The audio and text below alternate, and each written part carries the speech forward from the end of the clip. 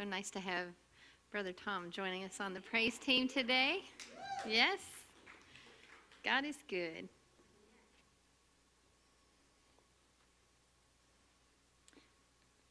So it's February.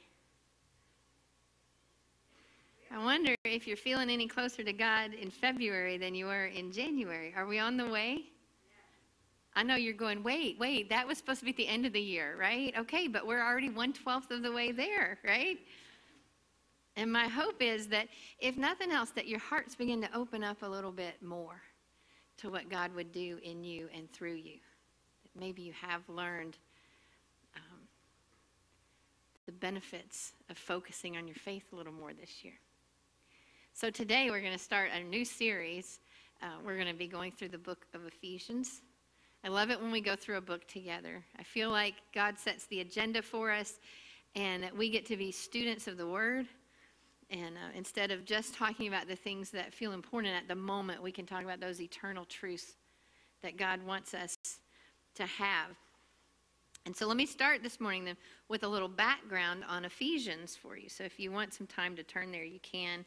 And I'll be reading from the New Living Translation as I usually do. So, background wise, we can just start by reading chapter, uh, verse 1.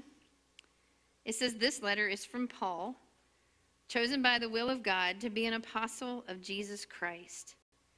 I'm writing to God's holy people in Ephesus who are faithful followers of Christ Jesus. Okay, so the book of Ephesians is a letter Another word for that is an epistle. If you ever hear that word, epistle means letter, all right? And it was written by Paul. So in theology, we would call this a Pauline epistle, right? A letter of Paul. That seems simple enough, right? And, and Paul points out here that he's writing under God's authority because he was chosen by God to be an apostle of Jesus Christ. Do you remember that story? We won't go into it deeply, but Paul was a unique person and he was a Jew by birth and he was well educated in the law and all of those things, but he didn't believe that Jesus was the Messiah. And in fact, he thought it was a threat to the faith, and so he went around killing Christians until one day he encountered Jesus on the road to Damascus, the risen Jesus. And that changed everything. And Jesus said, I've chosen you to be the apostle to the Gentiles. And that was kind of a crazy thing. Sometimes God does that, doesn't He? You're on one path and He goes, no, over here, right? And that's what happened to Paul. So Paul then becomes one of the fathers of the church in a sense because he has so much to teach the churches. And so he does that by writing letters.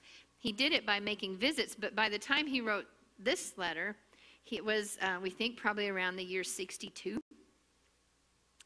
And he was actually under house arrest um, in, by the Roman authorities there. And so Paul would, um, was not as free as he might have liked, but his ministry didn't stop there. He was uh, writing to the churches to encourage them, and especially to the Gentiles. Now, here's the funny thing about Ephesians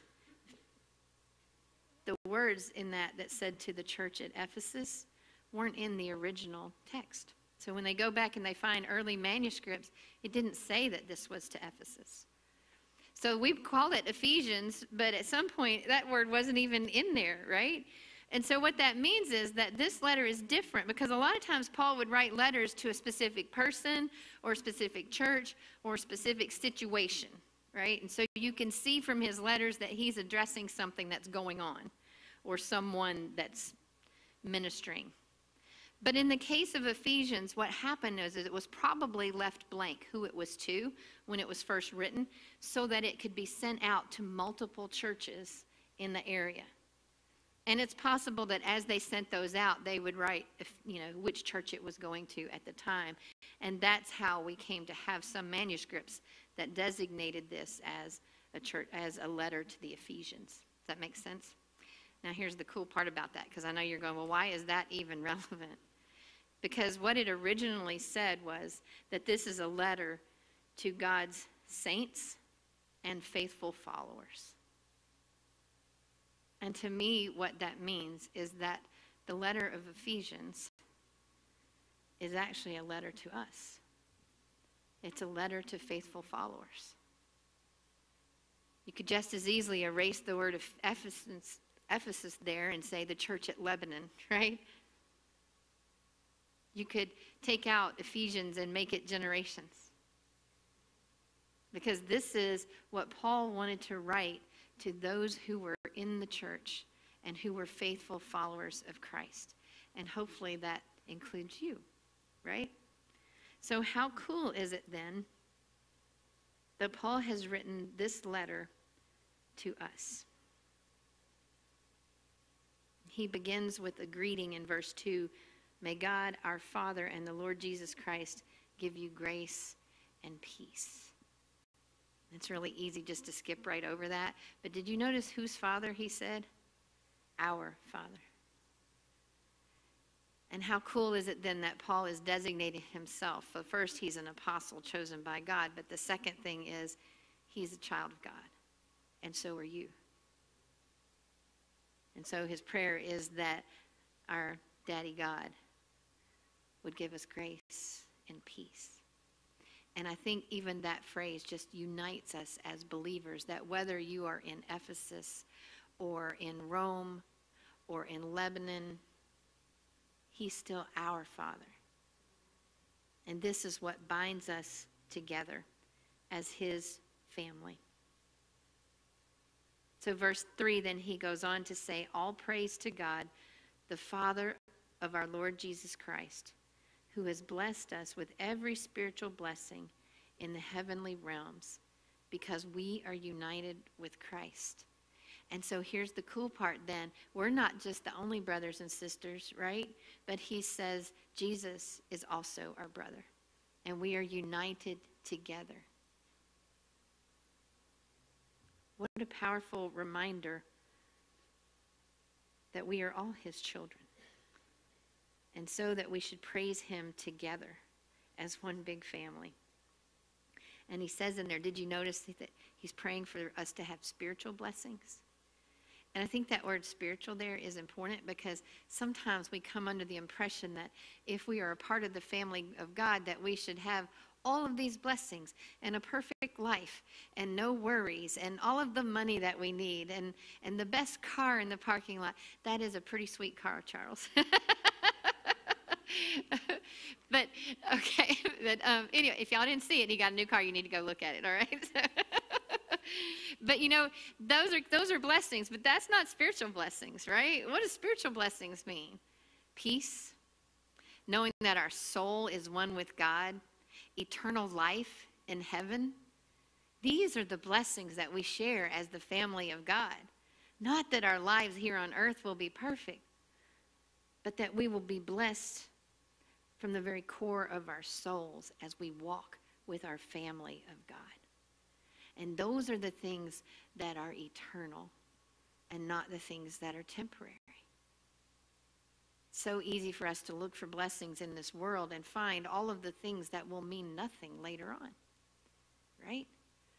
The money in your bank account, the car that you drive, the clothes that you wear, even the things that you do for your own body will be of little consequence a hundred years from now.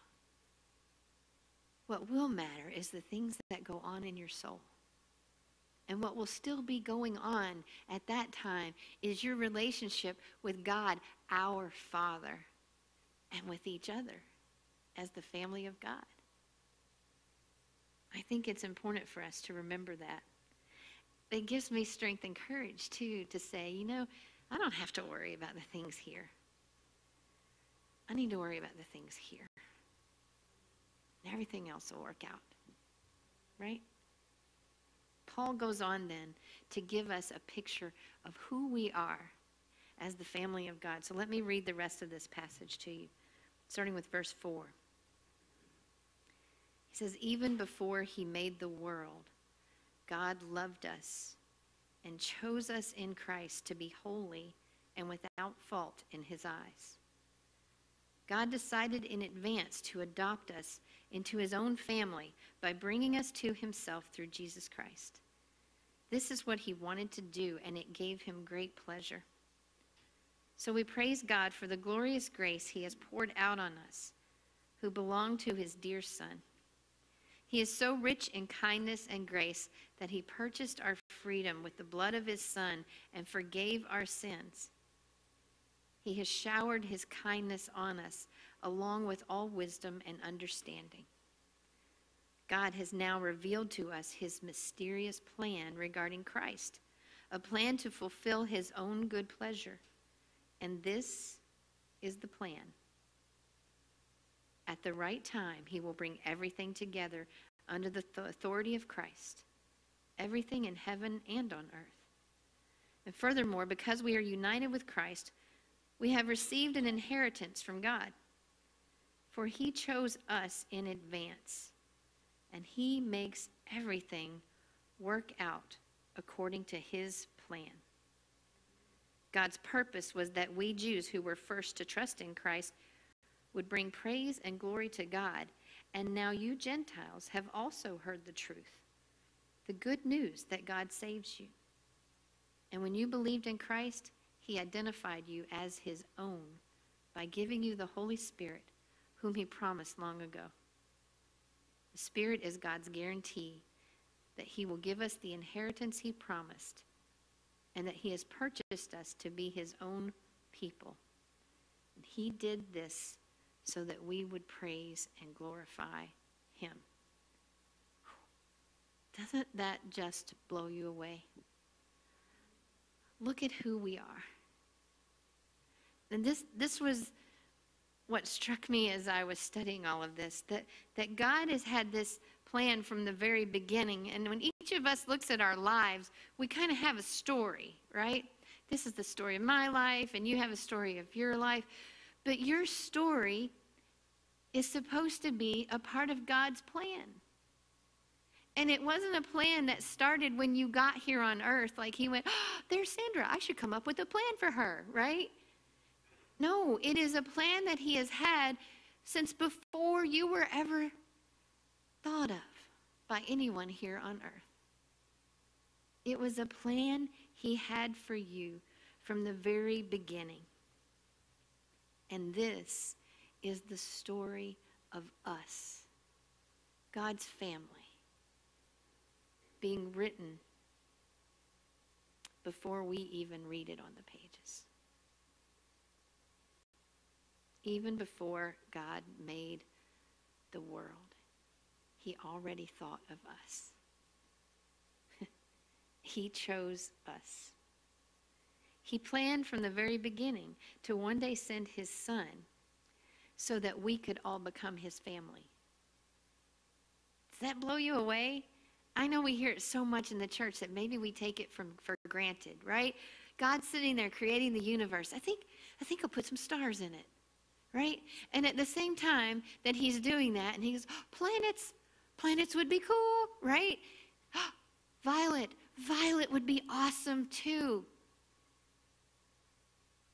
Joshua, I have a plan for Joshua that's going to blow him away. Do you see that at the same time God was creating the universe, he was thinking of you. And he had a plan for you. You are not an accident.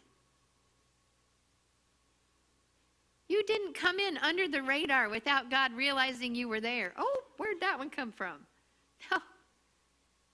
Before the planets even revolved around the sun, God already thought of us. And He knew that we would need a way to be in relationship with Him. And so He had a plan. Jesus was not plan B. He was not an afterthought. Jesus was the plan. Jesus would be the way for God's creation to come back into relationship with Him. I think that's really cool. God's goal was for Jesus to write our destiny with Him. Now, let me just address something here because sometimes people look at a passage like this and they use that word predestination, like God has already determined the outcome. But that's not what this means. What that means is that God has already chosen a plan for you. But you get to choose whether you're a part of that plan or not. And so, while the destiny that He had in mind for you before you were even born lies there in wait, you get to choose whether you pursue that destiny or not. And I think He knows what your choice will be. But knowing and causing are not the same things, right? Because the truth is, He loves us enough not to make those choices for us. Maybe it is the greatest act of God to give His creation a free will. To have this great plan for each and every one of us, and yet look at us and say, But I'm not going to force it on you. It's an act of love, isn't it? When Adam and Eve were in the Garden of Eden, I think God's plan was to walk with them and enjoy oneness with them. To see them thrive in the garden that He created. And I think that that was His desire, that it brought Him great pleasure to walk with them. But in the midst of His planning, I think He realized that forcing them to do so would not be the act of love that he wanted to commit. And so, in the midst of the garden, he put a tree. Tree of the knowledge of good and evil. You see, his plan was not for them to know evil. But his love said, but they have to choose. They have to choose my way. Otherwise, they are just puppets. Otherwise, they're like dolls in a dollhouse that you can manipulate and make go however you want. And so, out of his great love, he puts in the middle of the garden a tree and says, That's not my way. Don't choose it. But he gave them the ability to choose for themselves. I don't think God wanted us to be with him because we had to be. I think he wants to be with us when we want to be with him. And so the choices that they made meant that they had to be kicked out of the Garden of Eden. I don't think that was their destiny. It meant that they wouldn't live eternally here on earth, but that one day their bodies would, would come to an end and they would die because they made the choice that seemed good to them at the time. And so exile became their story instead of God's plan.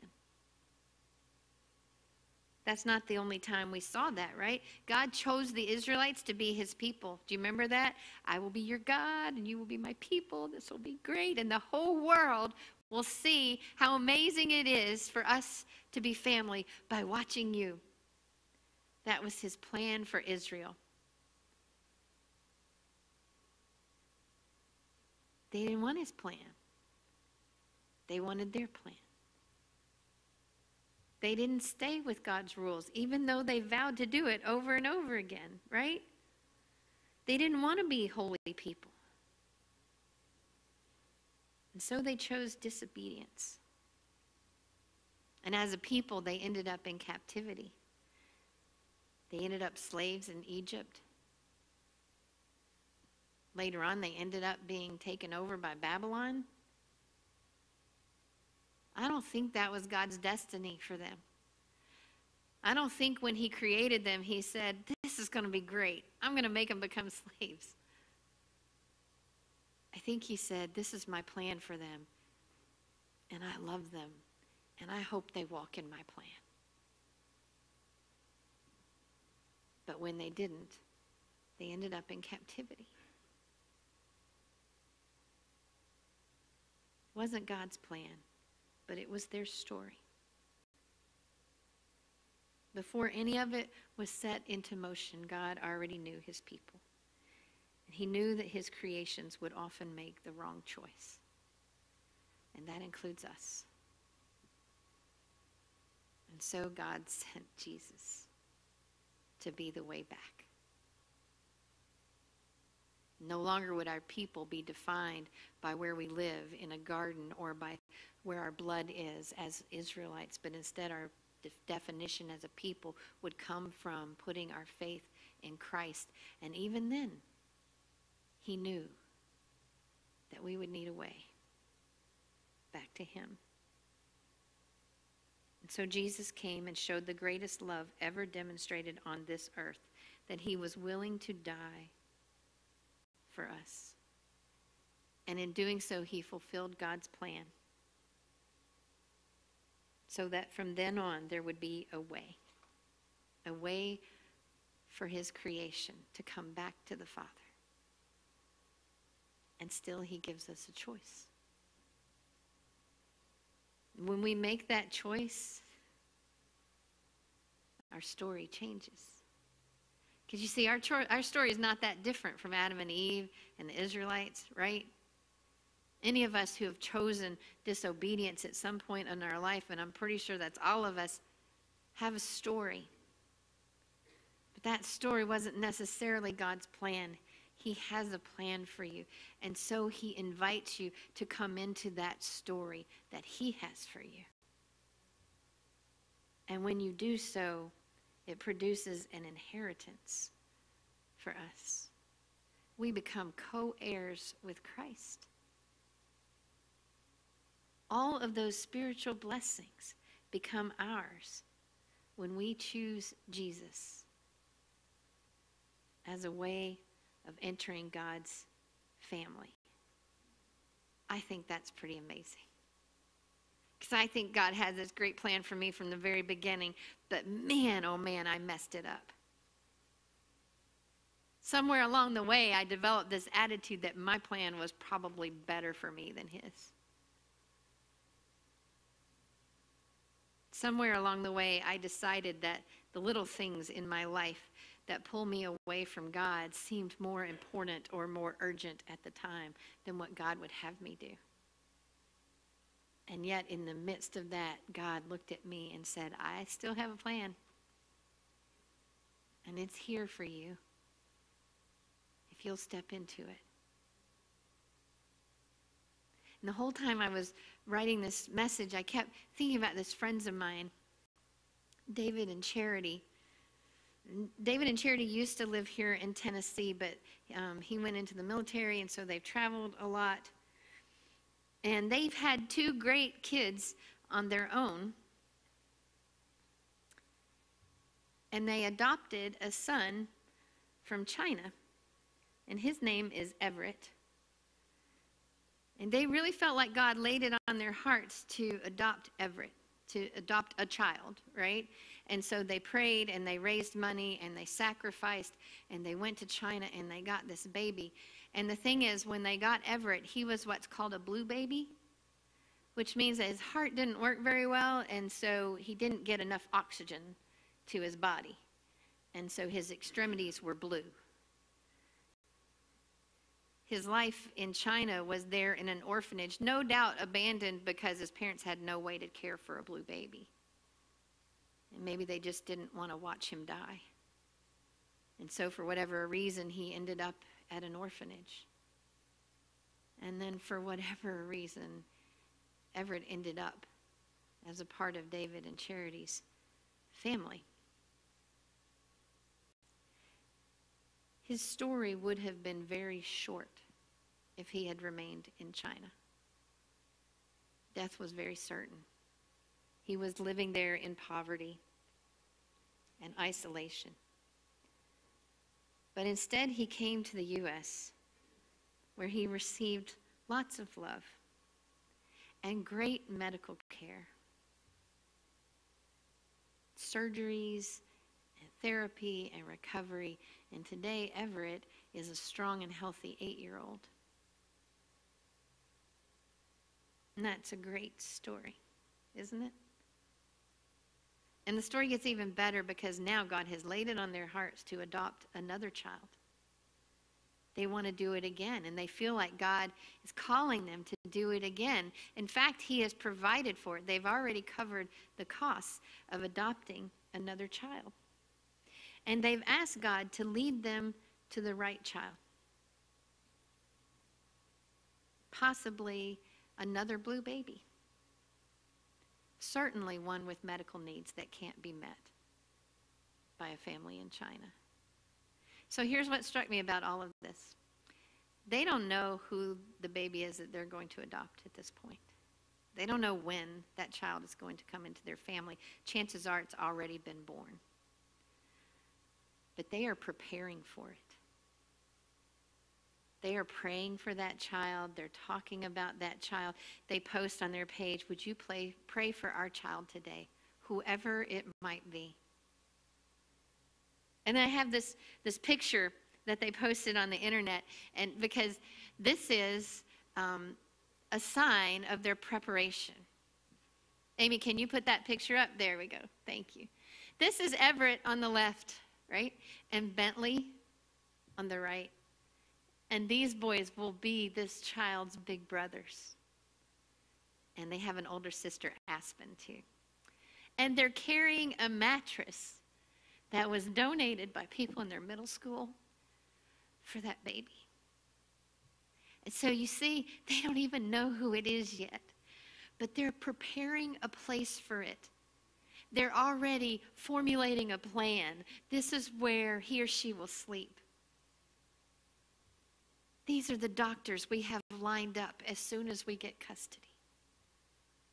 Aspen has been raising her babysitting money for over a year so that she can go to China with her parents to meet her sibling before they come back to the U.S. This child is already loved and cherished, even though they don't know who it is yet. Isn't that amazing? And I think that that child couldn't possibly imagine the life that waits for it here. A life where it can breathe, a life where it can grow, a life where it's doted on by siblings and parents and people who live in other states. I love this child already. And I don't even know who it is. But as I kept looking at their pictures and thinking about this child and the prayers they have, and right now they can't even go because of the coronavirus, you know, and that seems like a horrible thing, but do you think God knew? I think God knows exactly the day when this child will be placed in this family. And so they don't have to worry about it because they know God's in charge. This was God's plan. But God is changing the story of this child. Adoption is one of the most powerful things in the world because it changes someone's story. David and Charity have a plan for this child and a hope and a destiny, one that's so powerful and so great that a child living in an orphanage in China could not even fathom what that would be like. But this child will be chosen for a new life. This is her story, and it's being written already, even though she doesn't know it. I can't wait to see her face and to watch her grow into her new destiny. So many blessings yet to unfold. And the reason I think this story is so powerful is because it is our story too. Do you see? You see, we were all born impoverished spiritually. We were born at the beginning of a road that could go either way. And along the, along the way, we've made choices that would take us off of God's plan. You see? And see, and in China, these babies are the ones nobody wants. Nobody wants them. Who wants that kind of problem? And if you're going to spend $30,000 adopting a child, do you want one that could come and die in the next year? No, you want the healthy child, right? Nobody wants these babies. And I'm just going to tell you, nobody wanted me. I think God looked at me and said, Man, you really messed that up. And the rest of the world might have looked at me and went, Yeah. But God didn't look at me that way. He looked at me and said, Man, you really messed that up. But oh my, how I love you. And oh my, how I want to change your story and put you on my plan again and show you the destiny that I have for you. And so I will adopt you as my child. That's what God does for you.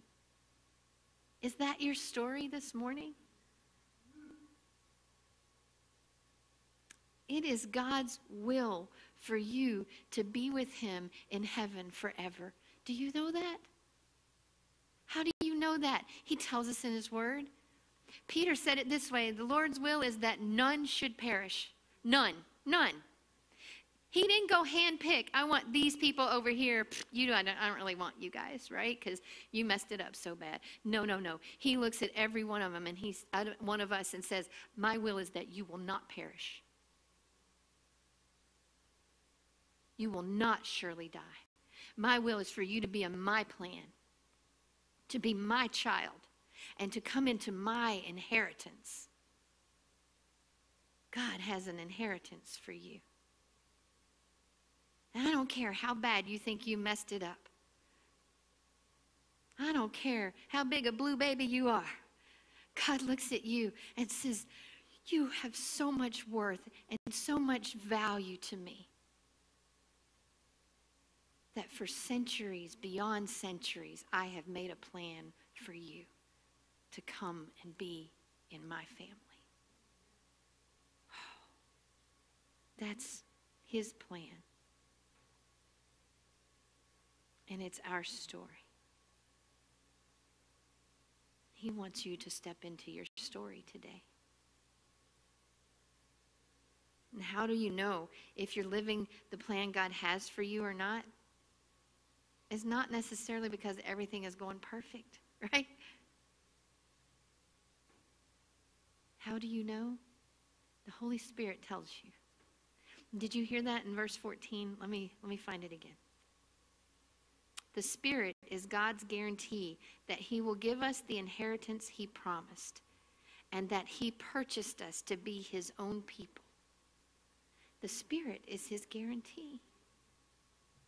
We don't have to wonder if we are God's children.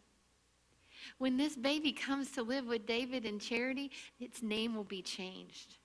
We'll have a new last name, and it won't ever have to wonder who it has, who it belongs to. Everett doesn't have a question in the world about who his family is, right? And when you come to Christ, you don't have to wonder. When somebody says, Are you going to go to heaven when you die? You don't have to say, Oh, well, I hope so.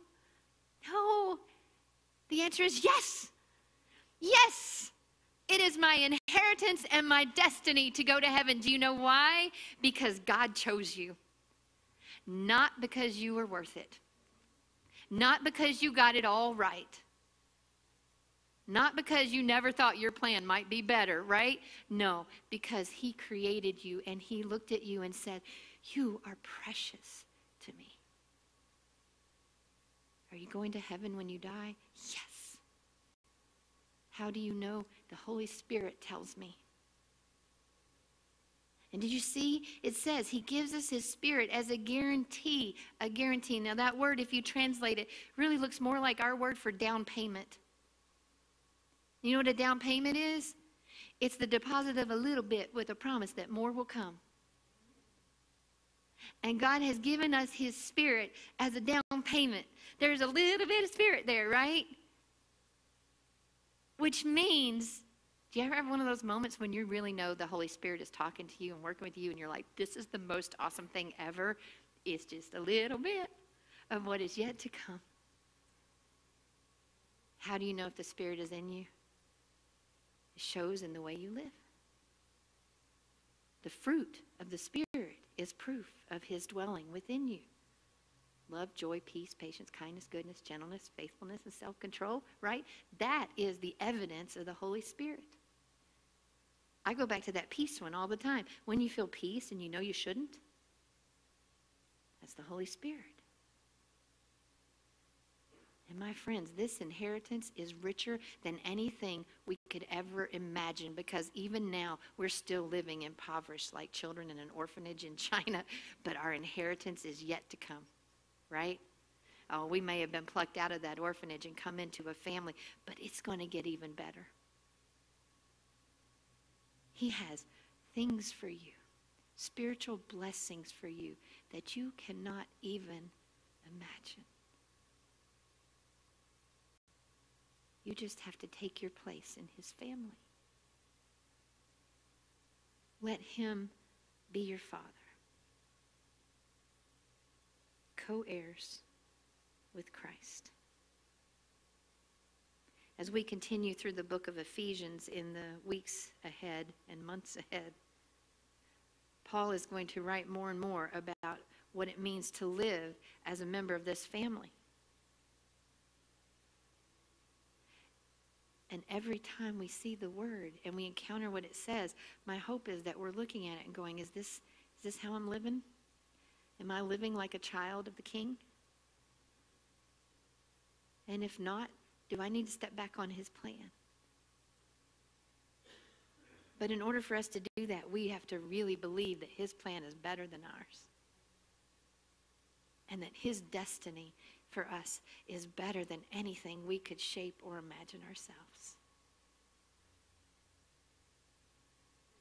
I want his plan to be your story. I want you to know that wherever you are right now, the rest of your story is not done. That you have a choice. Why do you have a choice? Because he loves you enough not to force you to be with him. But why would you choose to stay an orphan when you could step into the riches of God's family? I'm going to ask our band if they'll come on back up as we prepare for a time of worship. And if you feel that, if you are so thankful for where you are this morning, that you are a part of His family, then my encouragement to you is to praise Him. He did this so we would praise and glorify Him. That is our response to a God who has saved us, to praise and glorify Him. But if you've been feeling lost or abandoned or trying to write your own story, then I invite you to make a new chapter today. To take different steps right now. Because it would give him great pleasure for you to call him Father. He loves you already. And he waits to bless you if you'll come to him. Would you stand as we pray? Father God, we love you so much. And we thank you that, that even in Paul's life, God, that you changed his story so drastically. But all along, you had this plan for him, and you brought him back to where he needed to be. And God, we acknowledge that there are times when we step off of your plan, times when we have missed it, times when we have been selfish, times when we have gone after temporal blessings instead of the eternal. And so we humbly come before you, God, asking for your forgiveness and just feeling so grateful that even if we look insignificant or unwanted to the rest of the world, you look at us with eyes full of love. As a father who says, Jump into my arms, my child.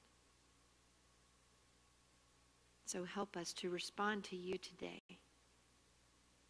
to step into your destiny for each one of us, for our families, for our church, that we might dwell with you in richness forever. In Jesus' name, we pray. Amen.